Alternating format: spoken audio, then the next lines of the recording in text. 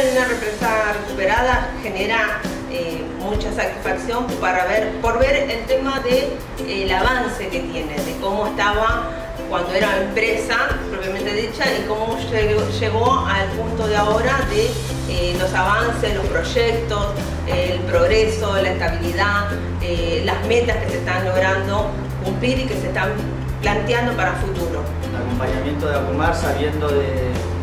lo que sucedió, lo que tenía la, firma anterior, porque la firma anterior siempre tuvo clausuras o digamos sanciones lo que sea, que nunca le dio